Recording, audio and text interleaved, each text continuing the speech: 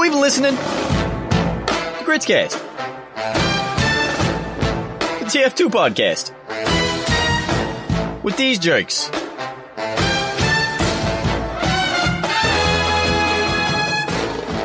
Hello, everybody. Welcome to KritzKast, the Team Fortress 2 podcast. My name is Agro. I have a beer with me this evening. It's a local beer from London. It's a session IPA from the brewery known as Fourpure.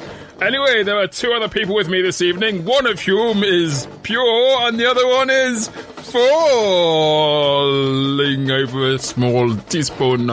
Anyway, the one whom is from Canada is this one. Hello, my name is Uber Uberchain and I'm from Canada. Eh? Currently, I am a drinking thing. a water because water is good, and I just Eh? woke up literally as the show called me and said, You need to get on the show right now. That's how professional we are. And we have a special guest with us this evening. A gentleman flying in all the way from over there. Uh, he is now synonymous with doing things a little bit differently, but not very differently, just a little bit differently in a way that some of us might find amusing. For he is a comedian of sorts. A fellow person known as this guy. Jesus Christ. I want, can you introduce me everywhere like that? Can oh, I just, Jesus like, Christ, I want you, holy smokes, I'm a huge fan of yours, by the way. Like, always, like, check out your show on Sunday, Jesus. so good. Thank you. Thank you. I appreciate it. Um, I try to do my best, you know, but I'm always upstaged by the other two. Uh, no, but all the way from over there, over there in the, you know, the US of A. I, I don't I'm- even know I'm what over there is. Yeah, I'm Sigafoo. I'm from America and I do things apparently differently. But America apparently has shown themselves to do stuff uh, differently with this everything that's been going on. So I, I guess maybe I'm I'm more normal now. Okay, well, that's that's three mostly normal people, kinda, uh, and and all of you, you people who are not necessarily normal, we're not judging you. You do your thing, we'll do ours, and somewhere in the middle we'll meet and exchange togas, as is the normal way for people to meet and exchange things. Anyway, uh, the show today there is updates. Yoo! Not a long list of updates as there has been on previous shows, but what's there is gold for a certain subsection of the community. There is a DreamHack winter event happening in the very shortness of time. Sigafoo is here to talk about all things Sigafoo Challenge Cup. That happened. Uh, and there were Saxxies. Saxxies dropped this week and there were competitors and some people did better than others. And one person won. And by one person, I mean a whole team of people. So this is really poorly introduced. Oh yes, and face it. Uh, yes, you must face it. Faceit is running a Team Fortress 2 Open Cup Challenge and it will go live mere moments after we finish this show, depending on how fast I can get through the introduction of things we're going to be talking about this week. But best that we move on to the very beginning. The beginning was where the updates happened. There were two. One was mostly based around the concept of localization files and their being updated. The other one was more interesting. I know I'm thinking the same thing. What could possibly be more interesting than updating localization files? But things happened. Yes, let me tell you, those unusual drop chances are very interesting. Like, compared to that- everything not, else. Not that thing. All right. Okay. So the the chances of getting like unusuals that has dramatically dropped back to how it was before. So if you've been holding onto a whole bunch of crates in the hope of opening all of your unusuals at the same time. By the way, I opened like 20, 20 boxes. Did you open any boxes? Did you open crates? I didn't. Did you? No, Uber? because uh, what happened is that when I like first started playing TF2 and the Christmas update app happened, I spent like not like a All the like, money? insane amount of money, but I spent enough money to realize what I was doing, and I just vowed to stop from that day because I was not getting anything useful. Now I heard that the drop chances like increased, and everybody's talking about Yeah. like how like they're getting unusuals. Like I would be in the middle of my Like, Saxxy meeting. Sleeping Bear would be like, oh, I've just opened another box and found like, I've opened four boxes and found like three unusuals. You're like, how? How did you do that? It, it's insane, yeah. And people would be like, oh yeah, it's like, guys, I, I found an unusual. And I'm like, why is everybody finding unusuals? Exactly. So now, now I don't know. I mean, the the TF2 economy is going to be a little bit screwed up as a result of this. There's now uh, like a, a flooding of unusual hats on the market. Uh, I don't know whether that's affected like the prices of the really, really expensive hats. If the chance of getting a really expensive one. Do you know what? I've got, I've got like the last time I looked before all this dropped, I had a, um, I had an unusual that uh, of which there were only two in existence. I'm going to go back and check after the show, but I'll be slightly disappointed to discover like there's another seven of them now, or 17 or 70. Um, but that said, anyone who makes any money as a result of keys going into holes, then they would have raked in a small fortune over the Halloween update. So that's not all bad news for the community. Um, just hope that you weren't basing any of your money for futures on, on hat sales.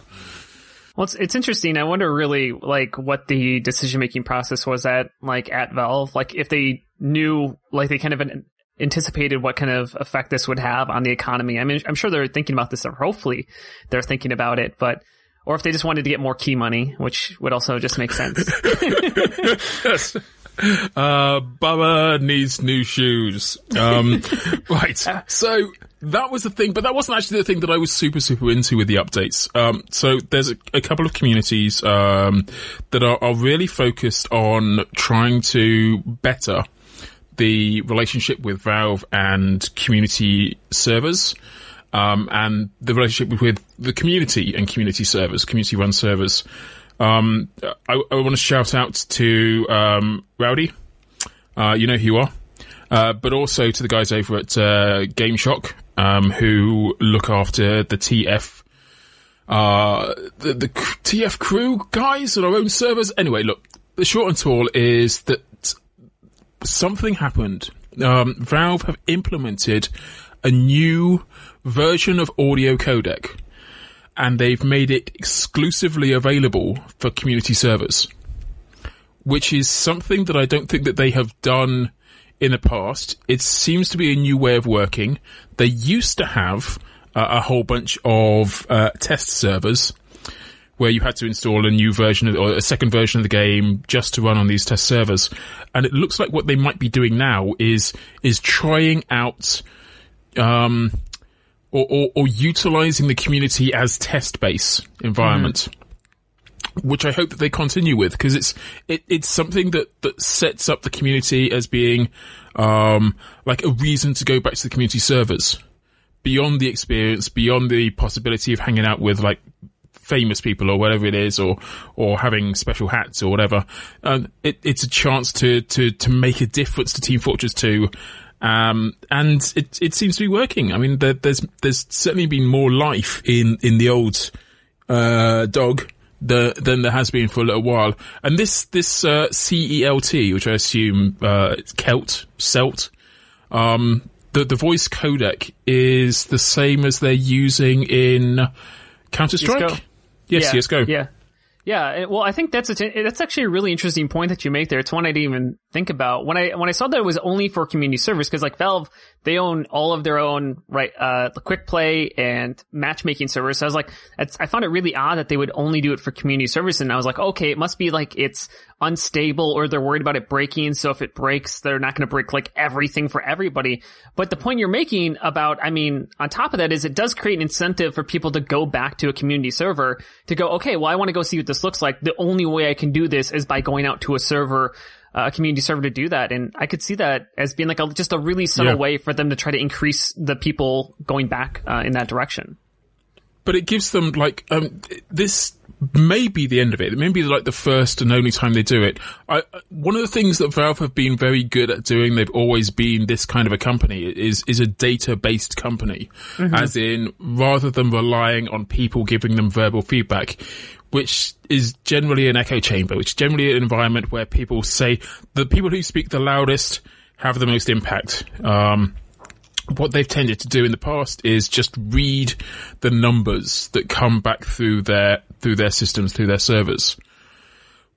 However, in something like voice and audio, What you actually want to have is the people who speak the loudest, speaking the loudest to you, telling you whether or not it's working. So in this kind of a scenario, uh, actually putting it on the community servers is the best thing to do. It is, it's going to give you the best kind of feedback. The question is, will they use will they use the community service for testing again in the future for things that aren't so voice uh, orientated? I And would think so. It's, Yeah. it's Yeah, I would- fascinating to me when you mention it because I had thought that this completely like updated, but I guess it's like it's still being tested, but they chose to do it on community servers. Mhm.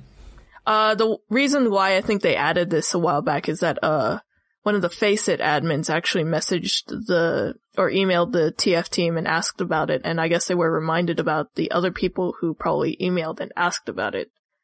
So Yeah. they figured why not because um, Faceit Yeah, might what have they got to lose? like it's it's a good thing overall. Like this voice codec has needed to been to have been updated for quite they- some up, time. Up, up till now, they've been using Speex. no, but Speex uh, uses the same like doesn't like Yep. Mumble use like Mumble uses or LT, Mumble like, codec. uses or used to use Speex. I'm pretty sure TeamSpeak used Speex for a while, but then TeamSpeak differentiated themselves by using a better version or a better no, Mumble audio I'm codec. certain like uses CELT, but then they use like Yeah. I think Speex is Well, built yeah, on it. this is it. So like everything, everything has moved on. Like the whole industry has moved on, and it seems mad to to be stuck uh, in.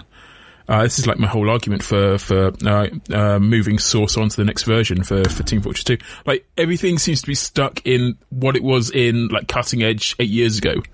Uh, and so moving this on is, is another, is another great push for, for the, for the Team Fortress team.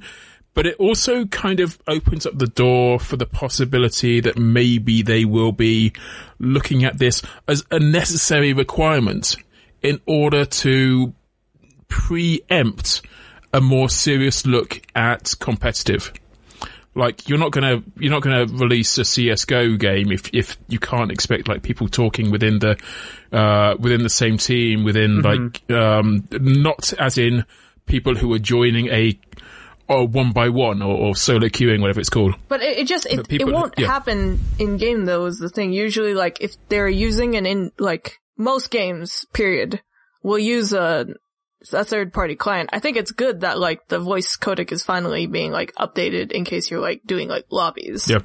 I will. I don't. I mean, CS:GO uses in-game. I, a lot of the games I play that have. Yeah, now that you mention it, because they use in-game for casting, I think. They also sync up like their casters to the actual like in-game audio now that you mention it. So I think this, Cool. now that you mention it, I take back like what I said because this might mean a lot of good things. Yeah, I should no, delete all of the previous Well, no, conversations it's, like, just, it's, just kind of like it. this, right? They, they're, they're casters themselves. Like I would see like in CSGO cast, there's like a little speaker indicating who's talking and I would see the casters synced up to the game. So I suddenly realized that basically those are for the people who are watching maybe from spec who aren't watching a stream. Right. So suddenly that mean, like, makes a just- lot of sense. But to your point about matchmaking, I think it is a good step forward and a step forward that they're saying like, okay, we want to like, cause you, you can't do, you, matchmaking voice chat was terrible. I mean, cause it was the old system where there was like a, like a half second to, you know, or longer delay on or something that felt terrible. And to have this, it sounds clear in my understanding. It also is, is quicker. And so it's just a little bit easier to use. And so I, I think it just shows them that they're trying to make progress towards matchmaking, which I know is a priority for them. Absolutely. Absolutely. Well, hey, look, I mean, it's not like it was the only thing that was updated. There were a few other things, but, but frankly, that's, that's kind of like, that's, that's the, the meat and potatoes of the updates. What's more important, uh, than talking about updates, if you can possibly imagine that, is the future. Um, not the past. The past we'll get, we'll get to, like a time team episode. We'll get to the past, we'll get to, we'll get to things that have happened let's take a moment to recognize things that will happen. And one of those things is the DreamHack Winter 2016 event, which will happen in about a week's time, depending on when you're listening to this. Yeah, isn't it going to be over Thanksgiving weekend for us Americans, I believe? Which will be in, I, uh, I have no idea. When is Thanksgiving weekend? Talking to the Brit.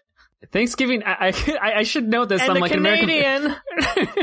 But Thanksgiving, I believe, is next week. It should be next Thursday, um, if I have my dates correctly. And I think this is happening. Um, I'm trying to find the date. I'm, I'm at the Team Fortress t- TV page here, but I believe it is next week it, it, when it's going down. So, um, unusually, I, I know that the, the the community has covered or done. Uh, I know that actually Uberchain, you've been involved with last year with the DreamHack Winter event. So it's it's the biggest. I think it's the biggest, or is it like one of the biggest? It's it, it it's became huge anyway. like a big sort of land next to the iSeries. When no, no. I mean, I mean, it, it's like the whole DreamHack thing itself is is DreamHack is a massive. huge event. It's basically the root of competitive FPS games, sort of starting off with CS:GO, and So, it was uh, CS:GO's like biggest sort of like tourney at Yeah, I the mean- time of its conception. So basically, it's a huge sort of historical landmark in terms of competitive like gaming, as well as a bunch of like mean, we, we're not talking like there's five thousand people that turn up. That that's five thousand people. Um, there's probably a, a day. There's there's twenty thousand. We're talking massive, it's a massive big numbers of convention gamers. basically. Like it's a big convention and like tournament hosting. Like there's all sorts of tournaments that get hosted here. There's um there's a Yep. CS:GO tournaments. There's there's sometimes Smash tournaments. There's I know LOL Heroes of the Storm had a Dota, wickedly sweet stage in DreamHack Summer that I passed by. It's just So there's a so lot going on. the- all of the big games, all of the big FPS games, all of the big esports games get some DreamHack It's, time. it's not even like FPS DreamHack games is- too. It's like Heroes of the Storm is not an FPS, No. but it had a really high budget stage and like insane quality Was- tournament. that makes sense because Blizzard tries to put a lot of money into that stuff. It would Yes, seem. they do. They really do. They take care of their like their they take care of like all their games like a helicopter parent. Right. They really okay, do. I don't understand that concept. But this is not a Blizzard podcast, so I'm just going to pass over that. Podcast Just- seventy just- six. Pro76.com. Um, yeah, so, uh, last year there was a, a small showing. I think you guys brought, uh, a few teams, three or four teams maybe. Um, and you guys, teams, yes. Yeah, uh, you, you kind of hacked it out as to, to who was going to be the, the ultimate winter winner. And, uh, I think you guys kind of overstayed your welcome a little bit. I, I don't want to step over the mark. That, that was summer. We Was that- overstayed our welcome in summer. Okay, so this year, to save us from tears, DreamHack have given it to someone special. Special. Yes, yes, yes, I you my heart. And the very Oh, keep talking, keep talking. I want to hear this. I'm like, I'm wait, I didn't want to talk over it because it just, it's so beautiful. it was so sad. My goodness. Okay, so this time round, Essentials.tf are, are manning the pumps. They are they are laying down the gauntlet. They are they are the the team, the the the streaming environment, whatever whatever Essentials. Do you know what? I, I still don't know to this day like what the hell Essentials.tf is supposed to be. It's everything. It's It's like everything. everything. It's literally It's all of the Team Fortress 2. Uh, so they are, they're putting on a show. Um, there's going to be four teams. I know three have been announced. There's going to be an announcement coming out either today or tomorrow about who the fourth one is going to be. And they're, they're, they're doing new stuff as well. I mean, this is, this is, I had a conversation with Vituft.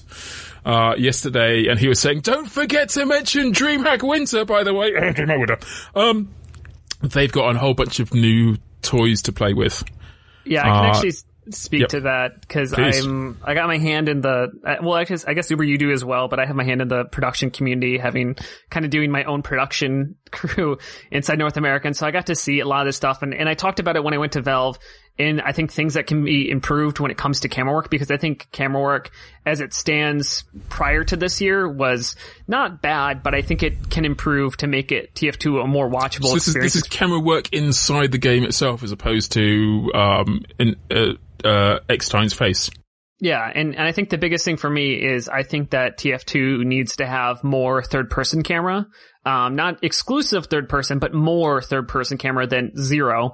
And I think that would really help uh, display team pushes and, and, and really communicate what is happening in the game. Because if you only see the scout who's the furthest person forward getting the frags, you don't see the other five players behind him and what they're doing and how the push comes in. And I, you know, as a caster, I'm watching everything in third person, so I get to see the beauty Yeah. of the game. And I always kind of feel bad that the person watching the game doesn't really get to see the team oriented nature. They only see the frag oriented nature, which I don't think effectively communicates. So, so this is this is a really cool experience. This is going to be um, uh, whether or not it's it's taken forward. It's it's a stepping stone. Uh, sorry, Or- a stepping stone uh, to to to how we're going to be viewing Team Fortress 2 competitive in the future. I think it's it's going to be the first go at it. I mean, I, I- as seeing it, and I, I think I understand why the F the first person you know thing. And I think the thing was is people experimented with the third person camera, but if you don't have tools to aid it to make it If look you don't cleaner, have tools, it's gonna just- like it's gonna look like terrible. Yeah. yeah. Oh, it looks like trash. But I think to compare TF2 to any other FPS is a mistake because it is so different than like, you know, CSGO, you don't see players like flooding into the point the same way that you would see a soldier and two scouts, you know, running in there at the same time. I think at this point we have to like see how it like adjusts, Yeah. and we'll Yeah, I see mean, if like that's what other, I'm looking other forward to. systems like Faceit or like even if you want to have another cup anymore, we'll use like the obser- observation system. We'll see. Yeah, I mean, Faceit. I'm glad you brought that up. Faceit is uh, is a competitive environment. Uh, they they've been into the whole sort of Dota and shooters and CS:GO thing for a long time. It, it, it's I'm I'm kind of in the black a little, or at least in the grey as to what Faceit is and, and how important they are. But I get the impression that they're kind of big. They're very big I with they're- the Counter Strike yeah. Go community. Yeah. Okay. So, uh, for the last few months, there's been a closed beta with Faceit where their, I mean, their Discord channel is always busy. Uh, they've had, they've opened up their facilities to the Team Fortress 2 competitive community and allowed people to play around with it and do like one day cups and just Did go they- mad with the system. Didn't Faceit actually kind of struggle to get people to consistently show up inside their system? Like that was kind of one of the issues. Yeah, I mean, that- they, they have had, as anyone would have, if if they're trying to uh, introduce competitive uh, facilities to a Mm-hmm. market that's currently flooded. I mean, if you look at the the other opportunities that are available for for um, uh, for TF2 sort of semi-pro players to get their rocks on it in competitive, the the the, the choice is unlimited. Um, so Faceit have, have tried to uh, uh, establish themselves within the competitive Team Fortress 2 community. And one of the ways they've gone about it, I mean, certainly the latest way of going about it is to, to open themselves up to a more sort of, uh, open beta rather than a closed beta as before. Um, and put a, a, a challenge down, put a, an open challenge cup, uh, with a, a prize fund of, of $2,500, very much like someone else did. I mean, recently. I'm not saying they copied anybody here, but it kind of seems like it. exactly the same amount of money, yeah? Uh, actually, yeah. Sorry, go ahead. So the, the, the challenge has gone out there, um, in a couple of hours after we get done. Faceit, are going to be kicking off and doing their own thing today. That's uh, Saturday the 19th. Um, I imagine if you're listening to this later on, there's going to be VODs that you can check out. Uh, we will certainly endeavor to link to them uh, on our page. Um, but yeah, there's it's cool that they're doing it. I'm glad that they've made it open and like the number of teams that have signed up for this is super ridiculous. Like it's, it's a huge number. Um, Yeah, I think they're up to like 30 or 40 now. I, asked- think they, I they had a goal of asked to go on, like- 64. I think I was asked to like med for one of the teams, and I think I said I was like busy at the time because I genuinely was Yeah. busy. So as it would turn out, I am busy. I'm on the show, but well, I don't know. You can still it play. starts You at, can like, still play. It's at not the too time late. we're recording this, it starts in like two hours. So like at that point, We, like- we'll we'll rush through and give you a Yeah, chance I- to, well, to no, win it's some like, gold. The thing is, like, I need to like work on some commissions, and like Sigafoo probably needs to cast it. So it's like the moment this ends, Yeah, we're that's a good literally gonna just be like, okay, cool, great show, nice working with you, bye. Just zoom out. Yeah, so I, I don't know, but I'm going to start watching it. So that's that's a, a different matter. But look, they they have managed to raise enough awareness in, in what is effectively a very short period of time. I mean, there's there's effectively no warning for this. It was just like uh, about a week ago they said, They "Hey guys, we're going to do this. system Who wants to sign like, up?" All their organization, Yeah, don't a they? lot of the like, organization, I which is know how I it's feel really great. Discord, They've like on Well, organizational. I mean, it's it's Discord or Slack in terms of if you're only going to try and do any kind of organization. Discord seems to be winning the war at the moment, certainly for gamers. Um, but they've got their own website as well. They have their own facilities. They know what they're doing. They know how to organize uh, matches, and we hope. I, I don't want to cast aspersions on them yet until they've had a chance to prove themselves once within Team Fortress 2 community, uh, when there's money on the line. And in having like an open environment like this, perhaps, I mean, I know Froyo, for example, Froyo enter anything. Um, just keep your, uh, keep your daughters locked up. Uh, but, but Froyo, uh, Froyo Tech being like this excellent sports team, like if you had the opportunity to play against them, um, and turned it down, well, you're a fool. Uh, so I think anyone and everyone will want to be going up with a chance to play against some really competitive teams. Eh, uh, experience is experience and you can't buy that. Um, so we kind of wish them well. Uh, Sigafoo, I know that you're going to be casting for this one. Yep. Um, it'll, it'll be interesting to see how it turns out. Uh, as you said, it was a little bit last minute, but it should be good games. Um, and it's going to be promoting the system, which I think is ultimately what their goal is. So they got their name out there. Yeah, yeah, absolutely. Um, so we kind of, I kind of want it to be awesome.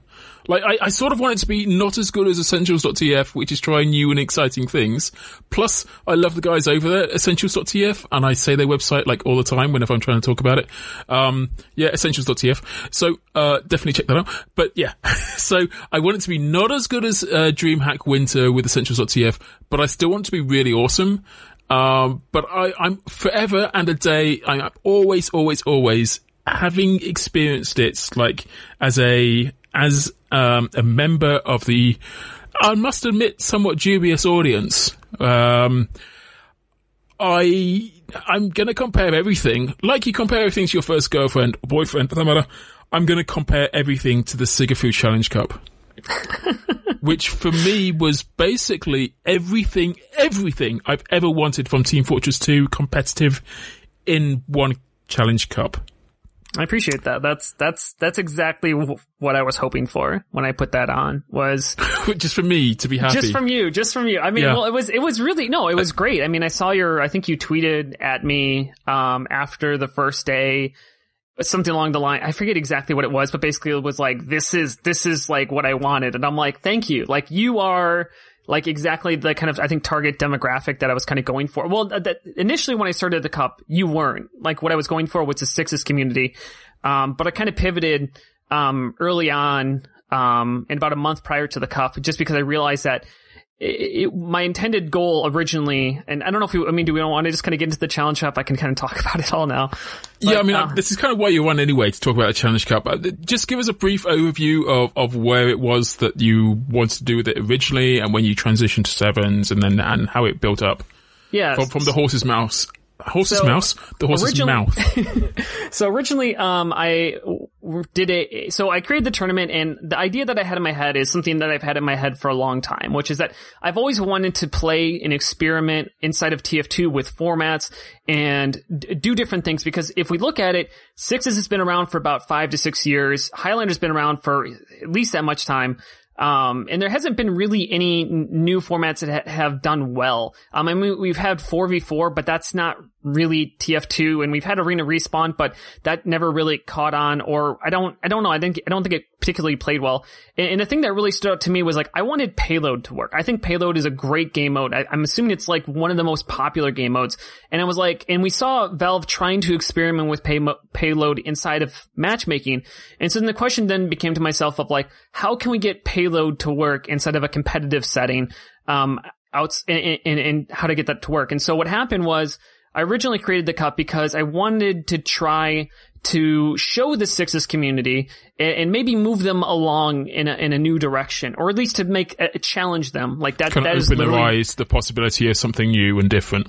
Exactly. Is to be like, okay, hey, you know, we just, you know, cause the thing is, is like people always, um, if you go to like the, the way people talked about the cup prior to, they said, oh, well, this has been tried five years ago, so therefore 7v7 can't work, or, you know, this, we, we tried pl- Prolander, like, for, like, when's the last time anything's gi- been really given a serious chance? Like, when's the last time that any of these format ideas that I, I kind of came together with were given a serious chance, and I don't know if they ever were. And so, um, uh, so that's kind of it. And then what happened was when I originally released it, it was going to be a six v six with one scout. Uh, limit and then everything else was going to be sixes class limits and and the, there was actually Yeah. a, a decent pushback from the community and I, I realized that like I kind of I originally wanted to do sevens but I changed it and I was really concerned because I don't think sixes would play pay- well on payload for various reasons I can get into. And so I was like, okay, listen, if I'm going to put on a cup, if I'm going to spend $2,500 of my own money. I don't want something that's not going to play well. And I know, and I'm like very confident sevens Yeah. will play well. And so, and the other thing is if the community is going to chastise me, I'd rather stand behind something I truly believe in and, and think is correct and will do well rather than try to meet them halfway and then have them hate me and it go bad. And so, Yeah. uh, Yeah. so, so I switched it over to sevens. then. Yeah, and um, and yeah, so yeah, so I switched it over to sevens and um, got a lot, a lot of hate for that, um, an immense amount. But I stayed to it, and um, it ultimately ended up going well. So the rule set um that ended up going over the cup, so it was seven v seven.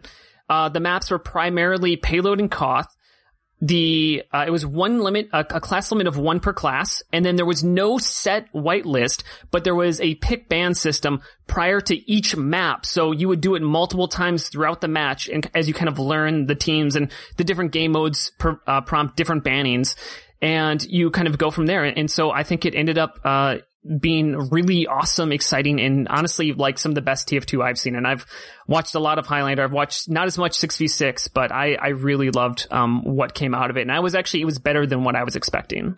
So, like, one of the things that really worked for me, I mean, uh, um, the Highlander experience is something that I, I love. I mean, I, not because, um, I enjoy there being only one of each class, but because it's, um, it's, it's inclusive, it's more relatable as someone who's kind of into competitive, but not really all that, but is really, really into, um, uh, there being every class represented. Uh, and sixes for me is always sixes for me isn't Team Fortress Two. It's it's a game that involves classes from Team Fortress 2 but certainly not all the classes. And um, even when there's a pyro or a heavy or a sniper or an engineer involved, they never leave the first spawn environments. Like the expectation is that you you defend hard or push hard. Um, but but but when uh, you're moving for mid, it's it's going to be a set number of classes moving from mid and nothing else. And and that isn't it's not my Team Fortress 2. I, I get it. It's some people's Team Fortress 2. And some people have come to Team Fortress 2 only from the Sixes environment. Like they've never seen anything else. You show them Highlander, oh sorry, you show them Highlander or you show them Payload or you show them um, any kind of like spooky stuff and they're like, this, what the hell? This is oh, MVM? That's a, that's a thing that exists? um, so for them, um, this, uh, it, it's not, it's not super relatable for them. Um, but what you did, what you did is you proved that the other classes that existed had a place within competitive Team Fortress 2.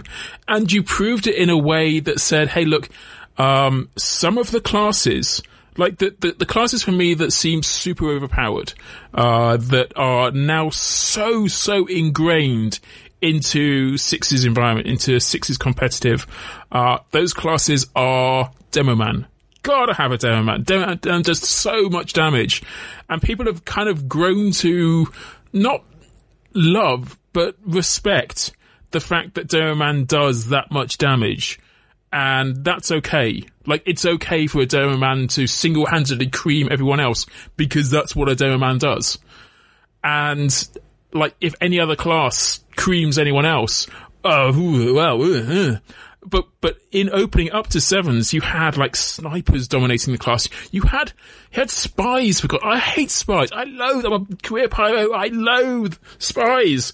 But seeing them played competitively, seeing them dominate the field, just be so effective, obliterate everyone's expectations, forcing seasoned players to to second guess everyone they saw because there was an extra guy on the team and there's an extra player and they didn't know who this how their medic has been dropped so many times. It, it was just excitement after excitement. It was it was new challenges and the pick ban system. I'm I'm waxing lyrical. The pick ban system. My goodness me, that that stands alone as being a most awesome experience. It introduced into Team Fortress 2 uh, the wonder of a storyline that doesn't exist in the fast-paced nature of Sixes or even Highlander where there's lots of little stories going on all the time and it struggles to keep up with them.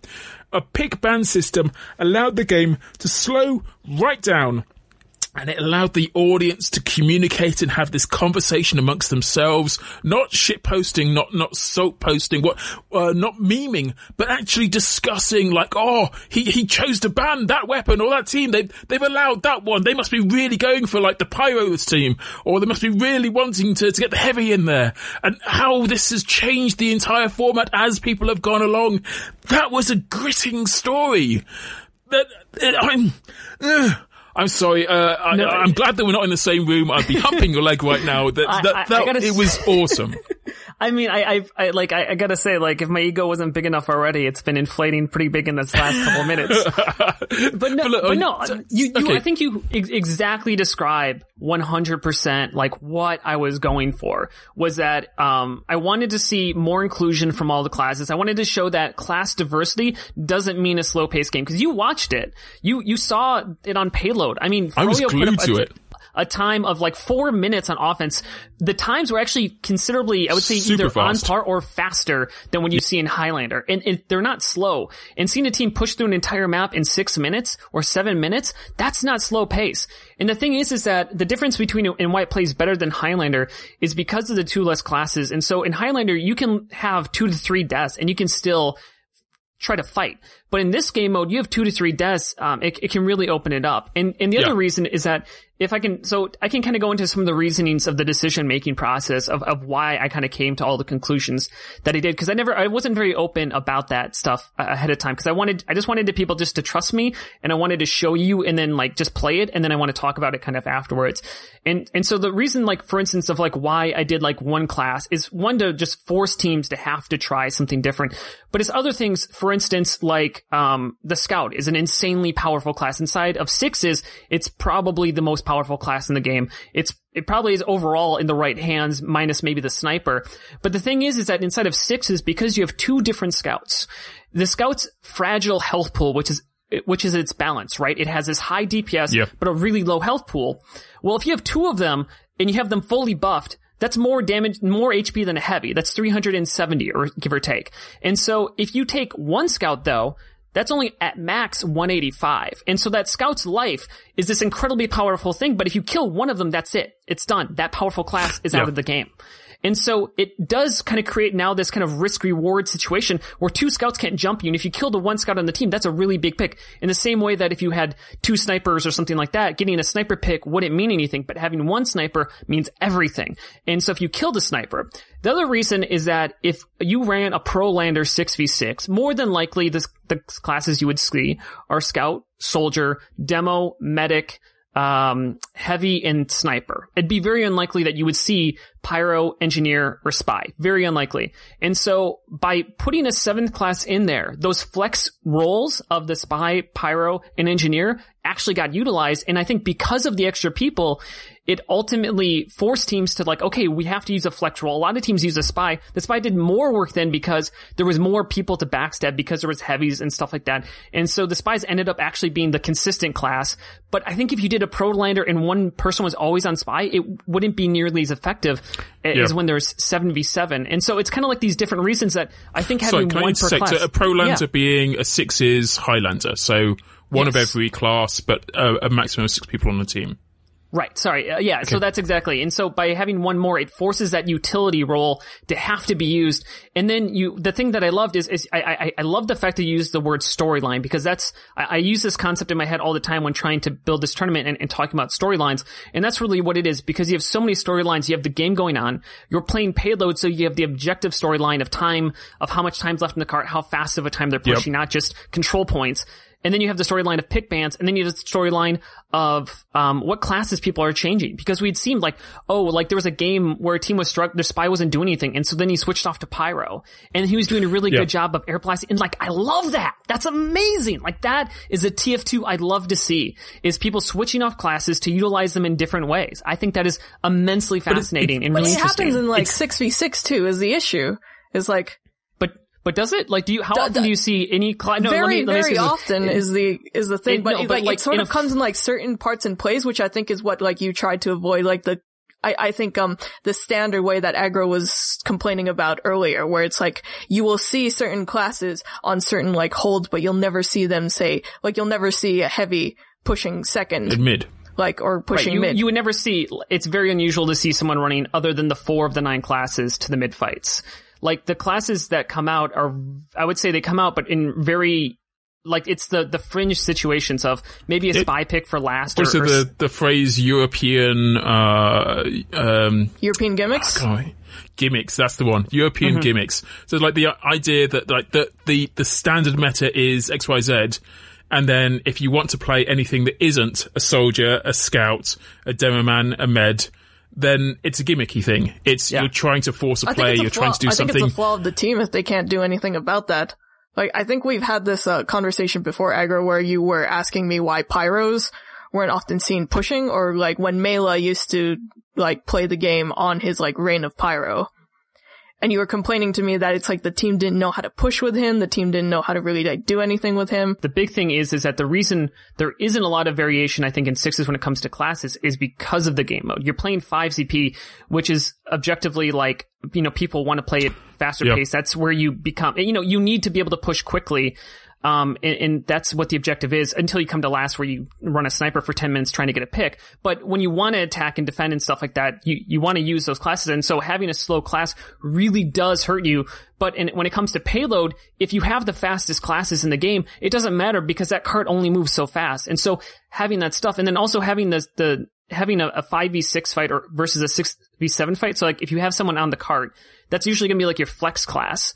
And so then you actually can have all of your core plays, players forward to try to actually take the next fight. Yeah. And so it's like a 6v7, but the seventh person's a flex on their, you know, so like it's not as drastic of a fight difference, but part of that reason it works is because of the game mode. Like I think 5CP just doesn't lend itself to slow classes. And that's one of the reasons I shied away from because I just didn't think it would Yeah. play well. I was going to say one, one one of the, the worst experiences I had what as a spectator um, was whenever the map turns to five CP. Mm-hmm. The, the whole game slowed down. It, it lost its it lost its flavor uh, somehow, and it kind of returned to that stale place of sixes doing five CP, where you're talking about the the sniper on the last trying to get a pick. It it sort of reverted to that mode, um, and it didn't feel. It felt like all of the joy that you had got for from this environment was was dropped. Well, there was, yeah. sorry. Well, I was going to No, say no. that. So from the first day to the second day, I removed everything except for one five CP map because I just said like this is not what I want my tournament to be. This this is not meant to be. Because I think the other thing too is that if I put five CP, it's going to draw comparisons of how the rules that I have plays against sixes, and kind of to what you were saying at the start of this is like there's kind of two different ways to play TF2. And there's one which is you want fast pace, you want to play in 5 CP, you want a heavy, you know, a large white list, and you want to play with like four of the nine classes in a very fast way. And then there's an, the other way, which is I want variety in map, in game modes, I want variety in classes, and I want variety in weapons. And that's what I wanted to present. And I didn't want to compare the two because I don't think either's wrong. I think both are good in their own way, but I don't think they overlap as it currently stands. I think the latter point is something that the 6v6 community implemented a while back with the global whitelist of seeing like what weapons like would work and what didn't. The thing it's, it is for 6v6. And like the thing that the global whitelist did was it helped classes like engineer, I guess, and to an extent, I think spy with the recent buff be a lot more viable. The problem we- we've realized with that is that like engineer for 6v6 with the rescue ranger and the wrangler is like, it's insane. It draws the game on a lot more in the current 5CP like maps that the 6v6 like format prefers.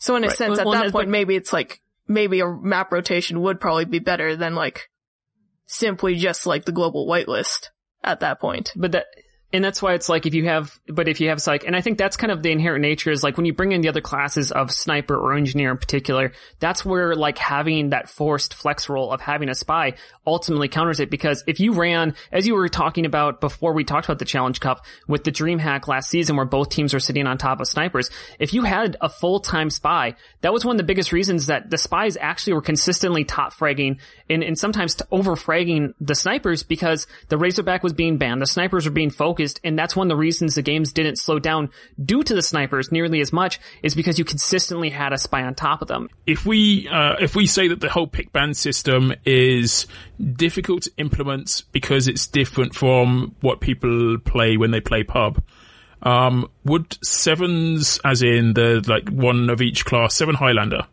um, would sevens be an effective middle ground uh, for the, the, the kind of the matchmaking scene. Including the pick ban system, like, and the Highlander No, restriction. exclude, excluding the pick ban system, and just have it as sevens without the pick ban, but have that as matchmaking, and then have pick ban as part of the the full on competitive. I yeah, I don't know. I mean, it's it's one of these things where it's like I think there's kind of a format yet to be found that really works for it. I think the sevens, as it was shown in the Challenge Cup, was at least kind of like it proved that like this can work. Um, but I don't think it's necessarily that sixes, that sevens is necessarily the correct number. I just thought it was the correct number right now. I would love Yeah. to throw another tournament where I did the same thing, but with 6v6 and just to see what would happen, to see if it played better or worse. Um, cause I really don't know. I, I knew that sevens would work. I had a really strong confidence in that, but I could be completely proven wrong and shown that like Prolander on, you know, payload, you know, 6v6 would work just fine. Okay, Um, this this has been an awesome conversation. I kind of want to move on, but I, I want to say, like, you've you've had a lot of. I mean, you personally have learned a lot from it. I don't know whether the Sixers community has learned anything, or whether the Highland community has learned anything. to but to you, dismiss you that we haven't have learned had- anything from it though is like non-collective. Sorry, I- like Okay, so I, don't know that they have or have not learnt anything from this as a result of, of the, the competition, but I, I, I can't speak of them or for them all since this is only the three of us here in this room right now. It's not a room, but you know what I mean. Um, what I can do is I can ask Sigafoo since you are here. Um, have have you taken anything away from this? Would you want to do this again? Uh, I mean, it, it was your own money. It, it, it was a large chunk of, uh, money for that matter. Um, and it was a lot of organization and I would imagine a certain amount of joy, but not all of it was joy. I, can, I can think that there's a lot of heartache in there as well. Would you want to do it again? And would you like to see other people mess with the format again? Um, would I like to do it again? I, I mean, I think if, yeah, I mean, putting down that much money again, um, I mean, putting down that much money in the first place, I don't think necessarily got what I wanted out of the tournament. I wanted, you know, a really strong lineup of teams. And I figured, hey, look at nobody's putting money into TF2. Let me go put money into TF2. And people are like, that's not what we want. Um, and so it's like, all right, guys, sorry. I guess I tried to give you money and you didn't want my money. So, um, but no, it, it, it I, I would, so to do it over again for the first time, absolutely hands down. I, I, have to be like Frank that like the way that, um, the whole thing came about and the, um, the, the harsh and relentlessness of the Sixes community in particular, um, and, and their feelings towards the tournament, especially when I kind of pivoted away from them and kind of like, I just don't think you guys want this. So that's cool. I'm going to do my own thing. You guys do your own thing. Cause I don't think there's anything wrong with sixes. Like it's very good for what they want to be. But kind of what you said at the start is like, you, you said at the very start of this, when you started out, is that the Sixes community is good for what it does, but that's not my TF2. My TF2 is, you know, all these different things. And so I was like, what do I kind of want my TF2 to look like? I want it to be on payload. I want it to be more inclusive of different classes. And I thought it came off well for that. And so would I do it again?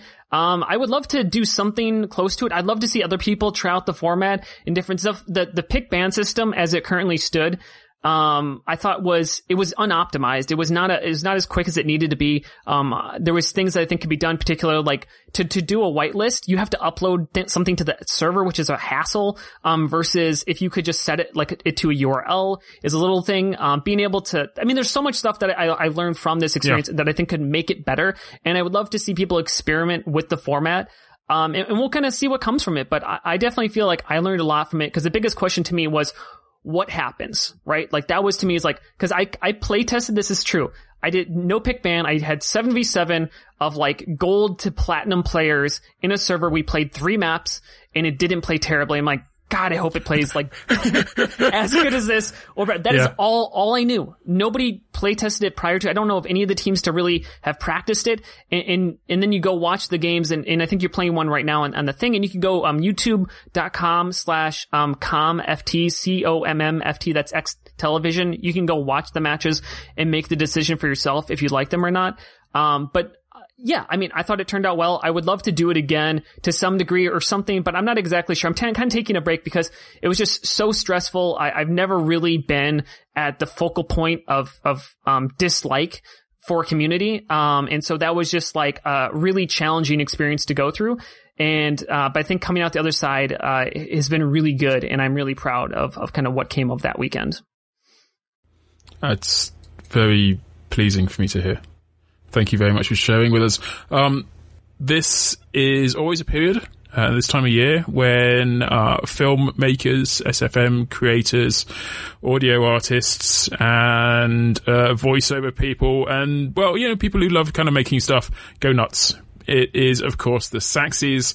Uh, the Saxxies this year was hard fought. Uh, we, we mentioned last week that some of the best Saxxies that I have ever, ever seen or we've ever seen come out of the community came out in full effect in 2016 and quite a lot of them, uh, had nothing whatsoever to do with Team Fortress 2. Uh, all utilizing SFM, all utilizing characters and, and models and, and backgrounds and art and, and beauty and a variety of things that we had not expected to see, including a bunny rabbit at one point, which I was significantly disappointed to discover that it wasn't even included in the nominations this year. Um, It was included in the nominations, yeah. It was included. uh, yeah, just... anyway, so the the the nominations uh, were announced earlier on this week, um, as is usually the way, four for each category. A little bit of uh, trepidation. Um, some of the uh, some of the nominations were perhaps not what I was expecting, and uh, a winner from each one of those uh, nominations chosen, and in fact, a winner overall as well. Um, it, has been a mad week, and I know Uberchain, you, you were personally involved in an SFM which didn't quite make it all the way we to the finishing line. did not make it to the Saxxy deadline, but enough about that. We sort of, at this point, it's like, it's focusing on this year's Saxxies, which had some pretty strong contenders. A lot of repeat people people from last year are coming back and basically getting double Saxxies. Yep. There's double like Saxxy winners who are going back to Valve for the second time. Oh God. Okay, so we're going to skip straight to the chase on this one. Um, the, the, the winner was kind of as a lot of us suspected it would be. Uh, the uh, the team that presented Timeless Thief. Um, it was uh, it was beautiful. It's it's the one that you could loop back and back uh, back to back for, for ten hours straight. And I don't know whether Winglet has, has managed to create a ten hour version of this yet, but uh, Winglet very yeah, much like to Winglet see that. And a few of it, the people on the team basically sat down. and like we're getting best overall.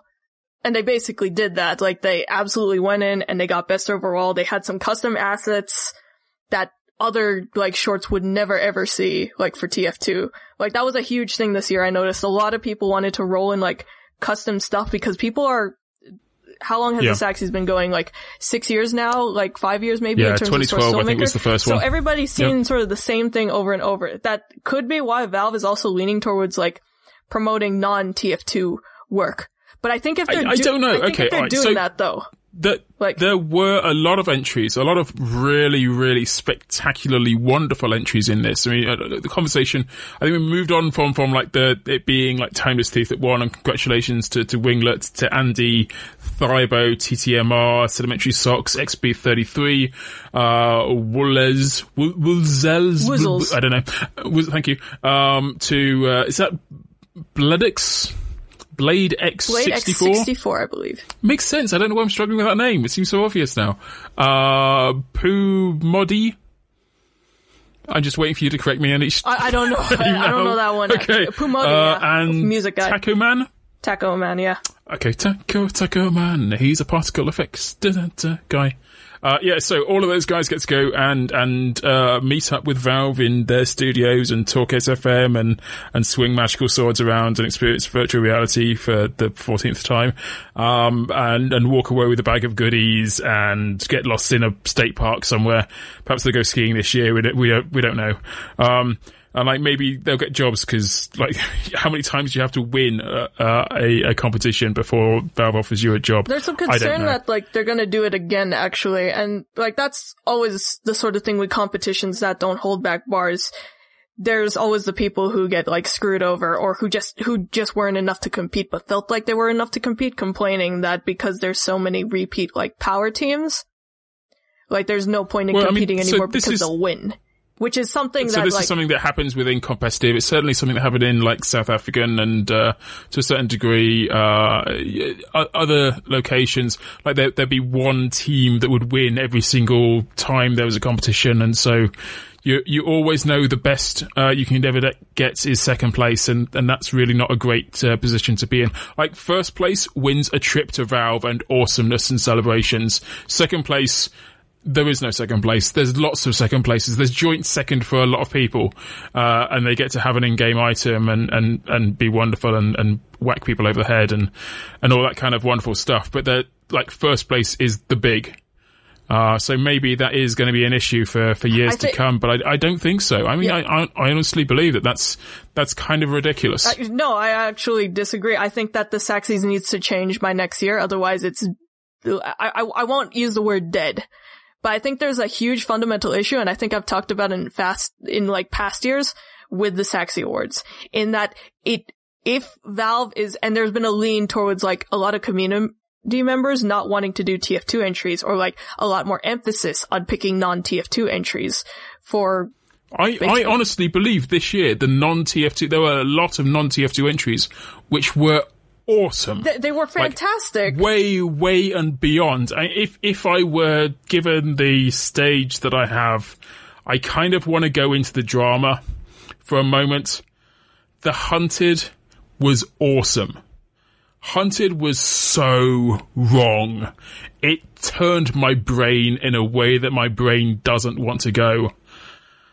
Uh, and, and that, that, uh, well, it was Team Fortress 2, sure, but it wasn't like, Team Fortress 2 was almost like an aside to used actually what was TF2 going it, on. It, it used the TF2 universe and maybe some characters, but it wasn't like in. It- It, like- wasn't really like- TF2. We've seen like examples of TF2 were props for for what was really going on with the actual like oh it, oh so that one for me was was drama it was horrid it was gruesome it was oh but it wasn't celebrating Team Fortress 2 it was oh actually watching it again now I feel kind of weird um and I, I personally found that one much more dramatic and much more interesting than Living in Obscurity, which is the final winner for drama. I have very mixed feelings about living in obscurity winning because it was it was initially submitted like under the comedy moniker, but it was submitted in comedy Hmm. and drama. The thing about this is the drama was placed in like a three paragraph description. And I was like, if it, if you have to explain it in the description rather than through the short, you've done something wrong. Like that's, Yeah. and, and that's really like harsh for me to say because I'm usually one of those people who will say, yes, check the description. But in this case, like in a cinematics like competition where a lot of things are taken into factor, if it doesn't shine through in like the actual video and you have to explain it in text, you've done something wrong. Like I am a big proponent of putting your canon where it matters the most in the actual like in the actual stuff. It's basically the same issue people had with the extended universe of Star Wars, which was recently dismissed as completely not canon a while back. But other, otherwise it's like, I think the issue with the Saxxies is that it needs to expand. Like, if they want it to be a source filmmaker contest, period, rather than like, known as that, that TF2 contest, because we talked about like what happened last year with the Dota entry, right? Yes, the Dota entry was, was knocked back for, for not being Team Fortress 2. That's Yeah, that's it, it was also like apparently it was also substantially like not a great film, so that was why there was a lot of Yeah. backlash. But still, it's sort of like at this point, I think, and I and I made a rant about this somewhere. The Saxxies needs to either like sort of stay as TF2 and have a separate like source filmmaker contest, or it needs to expand outwards towards other Valve IPs. Like, why am I not able Yeah. to stab somebody in CS:GO with a sexy like knife? Why wouldn't I have like a sexy effigy for Dota 2?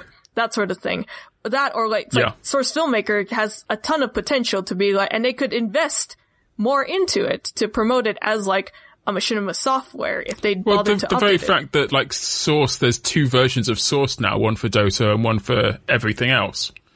That that's the sort of the Source filmmaker. It, it's it's a kind of bizarre madness that uh, that that hasn't been updated. Yeah, it's a it's a uh, tool basically. It's a tool that people use for things for things other than Valve games. Blizzard has commissioned me to make them source filmmaker posters for Overwatch using Valve software. There is a lot of potential for the software to go somewhere.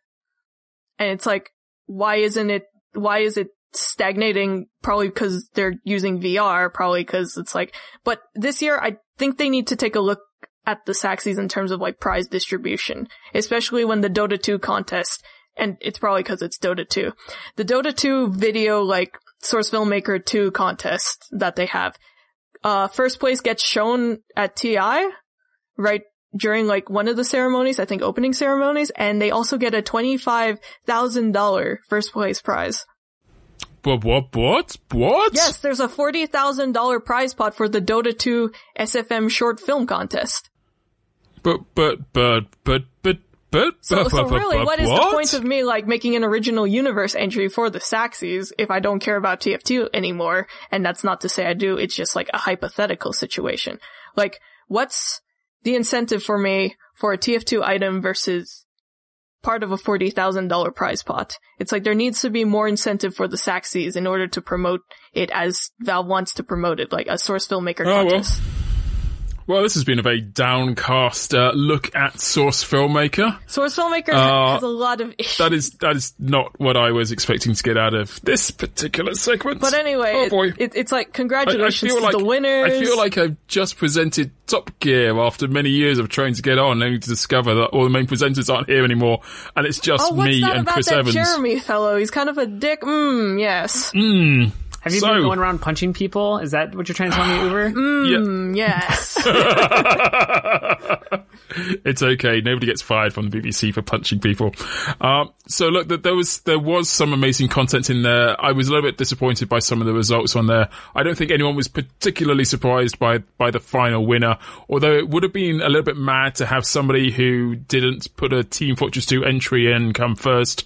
I think it Uh, would have been but I think- fantastic, I- but like, I I, think, I think it would have been fantastic. Yeah, I think- oh, it'd have stirred up the community something rotten. And there were some really, really cool entries in it as well. I think having, uh, in the extended entry, having, uh, the, the winner there, the, the reinstated the arrival. I mean, reinstated that was, really good. Oh, that was really nice. One of the things that I, I mean, uh, um, always talked about this in the past is walk cycles. Uh, the ability to make your characters look like they're walking naturally. In many of the SFMs, including the overall winner, there's something very wrong with how those characters are walking. That's like, please go back to school and learn how to walk. Oh, you could, Um, you could like go to school, you can pay money Yeah. for like, um, animation school and you still wouldn't learn how to do a walk cycle. God, walk Well, cycles are so thing. hard. so hard indeed. It's ways on everybody's reel, but like within uh, reinstated, they were walking so naturally, so awesome. Like it's a funny thing to notice, but you really notice it when it's not there. Uh, yep. So there was some clear talents uh, in in effect during the SFMs. Uh, a few things that were portrayed or uh, pretended to be funny that actually weren't that were in the comedy section. Um and yeah.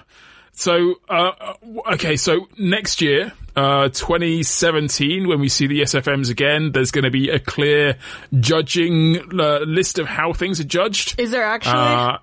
Is there no. actually? Uh, there's there's there's going to be uh, there's going to be uh, a few moments where where Valve get on camera and tell us why they've chosen the things that they've chosen. Uh, there's going to be a new version of SFM. Uh, there's going to be a prize pool of many thousands of dollars. Um, and there's going to be an opportunity to have your entire body encased in Australium and put on display in Valve Studios for at least 26 hours, uh, until you've entirely suffocated. So those are things that are up for grabs next year in my mind. Uh, and only in my mind, but for now, it has been another exciting uh, and active uh, edition of the Saxxies from 2016. In fact, it's been another exciting and amazing edition of KritzKast, which is now on YouTube. Yes, we finally made it for YouTube. Huzzah, indeed. Uh, there was the first uh, episode we put out.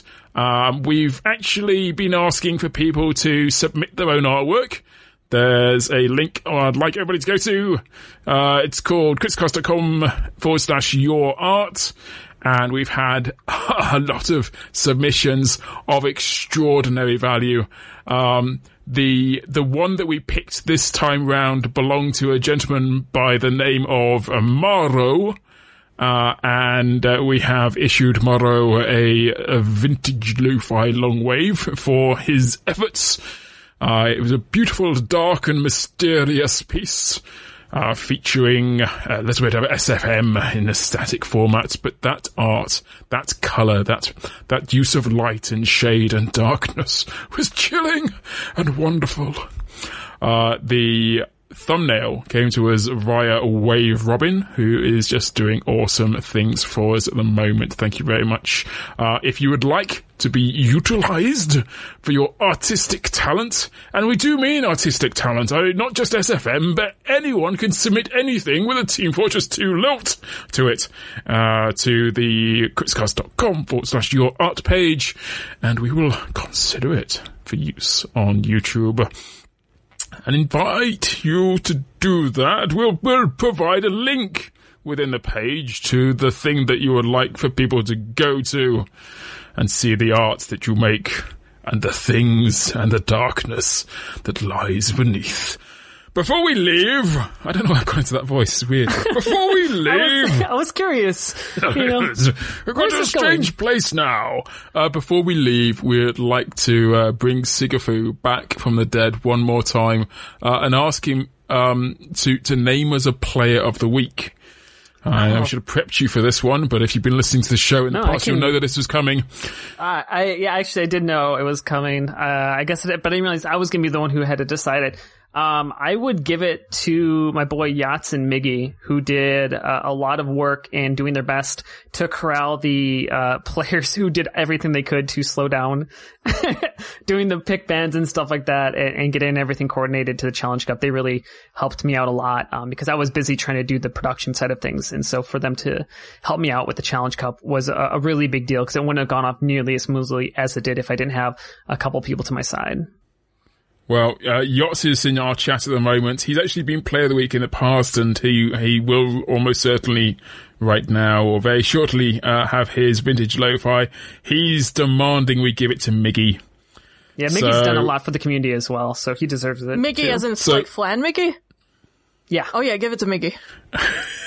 okay. Well, Miggy, uh, congratulations. You are this week's Player of the Week.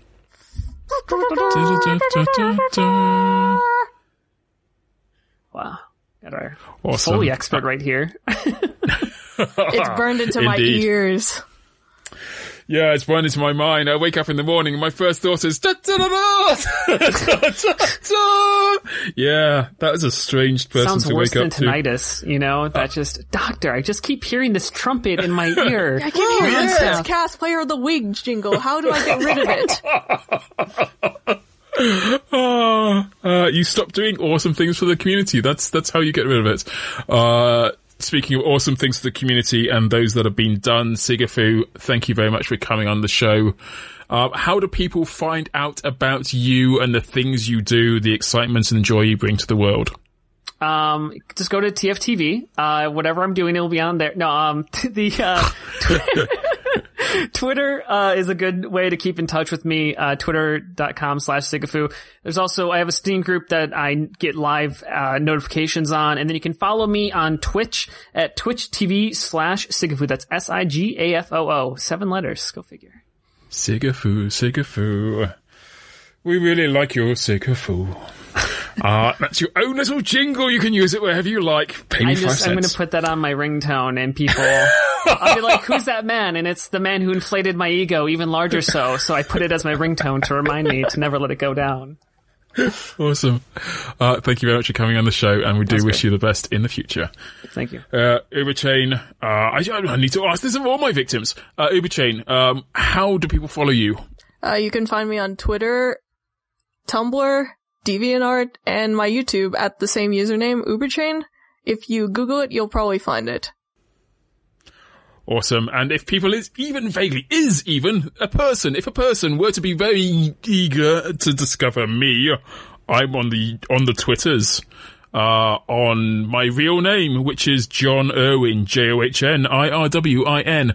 How weird is it that I like that everybody's got these cool names? Hey, follow me on at Sigafoo. I, I yes. think it's professional though. Like a lot of people have done that. They've used their IRL names, but they use their usernames in their like in their screen names. If that makes sense. Sigafoo Barry. I don't know what your real name is, Sigafoo. I'm sorry. It's, it's Derek. Uh, it's Derek. Sigafoo Derek. Uh, yes. So that's a thing. Anyway, um, I am very sad to, to say goodnight again, but I'm going to do it now and wish you the best of luck in finding yourself some Team Fortress 2 related joy over this week. Good night, everyone, and please, whatever you're doing this evening, uh, don't Don't hello. take too long to come up with an idea. Apparently, don't try to do an outro. That's that's what Don't we've do an outro. Don't- Whatever you do, don't don't, do do, an an outro. outro. Whatever you do, just just leave Just- early. Just, just go. It's too late now. So long and thanks for all the fish.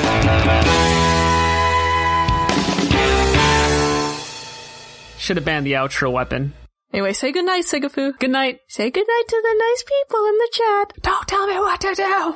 Clean your room. And good night, Kevin.